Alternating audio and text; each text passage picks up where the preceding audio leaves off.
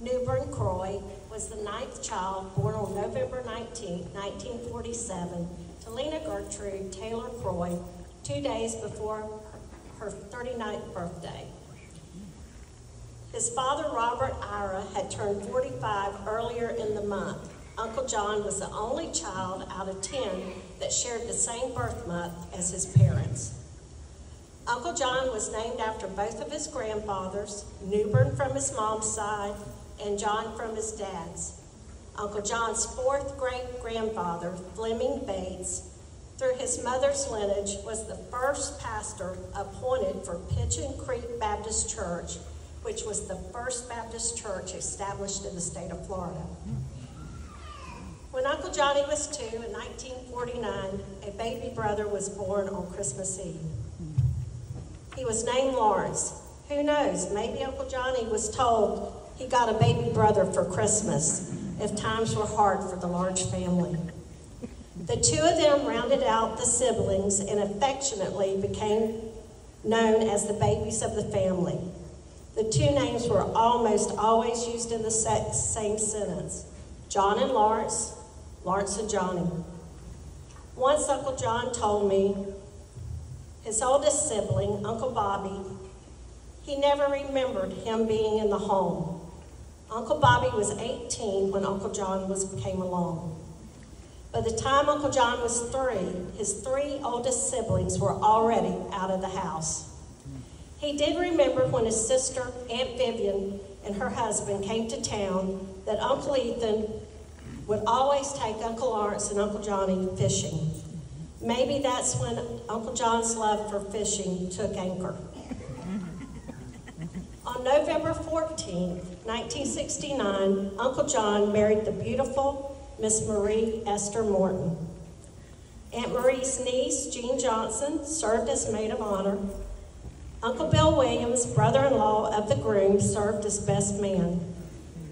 Also on the same day, Uncle John's brother, Marine Corporal Carol Ralph Croy, married Miss Alma Jean Nipper. Uncle Bill and Aunt Dorothy stood up with them. Uncle Bill must have had a busy day being in two family weddings on the same day as the best man. Uncle John and Aunt Marie made their home in an apartment on West Oak Street here in Arcadia after returning from their honeymoon. Uncle John and Aunt Marie later moved out to Owens Community on a piece of Aunt Marie's family property. To the right of them, either through a path in the woods or by ways of County Road 760, Aunt Marie's sister, Irma and family, next her dad and her brother Alton, and then her sister Sue and family, all had homes in a row. In the same community lived Uncle John's sister, Aunt Dorothy and family, and on around the curve lived his sister Iris and family. Uncle John and Aunt Marie started out in a camper trailer, then a mobile home, and built their forever home in 1974. Even while Uncle John and Aunt Marie dated and after marriage, they spent a lot of time at our house.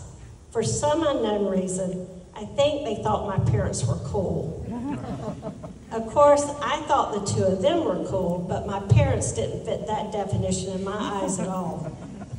I remember how Uncle Johnny could sit on a back porch and tell joke after joke. He was an entertainer. If I could go back to the middle school the next week and remember just one of his jokes to tell my friends I thought I was hot stuff. Every Friday night, we'd load in the station wagon, Dan riding in the front between Daddy and Uncle Johnny. I would be in the back seat between Mama and Aunt Marie. Cigars and prison stories in the front, and cigarettes and GPW hospital stories in the back. no one knew about secondhand smoke back then. we would go down to the Dairy Queen on 41 in Port Charlotte. I'd carry a pad to take everyone's order. I was only pretty young at the time. And that still gets a chuckle from Uncle John and Aunt Marie to this day about me with my pad and pen. I would get out and place the order. You probably think, what's the big deal? But it was such a simple time of life and cheap entertainment. The girl would lean her hand out and repeat the large order. Dan said Uncle John would say, Poor little Michelle, everyone's going to think she's going to eat all that. I remember sometimes when we got back to Arcadia, we would ride up to the DeSoto High School football game. We'd pull up to the fence there on Hillsboro Avenue so we could see the score. There was a boy I liked in the middle school. Daddy and Uncle John would say he had a peanut shaped head. They would swear they could find him in the football stands because of the shape of his head. Now that I think back, I gave them too much credit for having good eyesight with the response I would give them.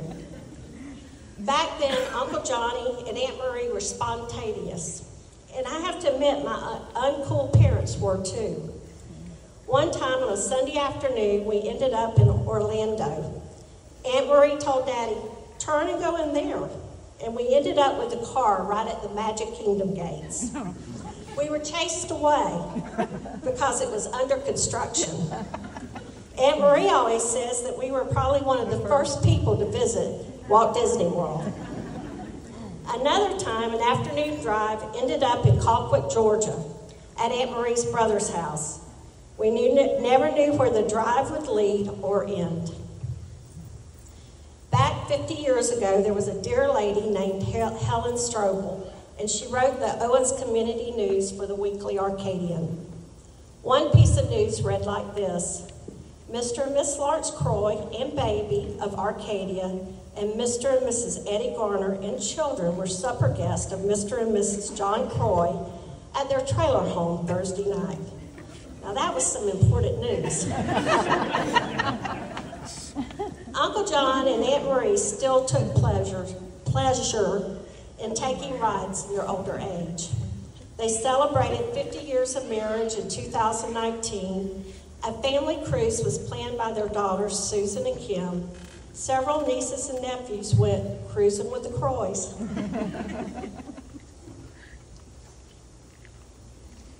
if I had to pick one word to remember Uncle Johnny by, it would be the word humor.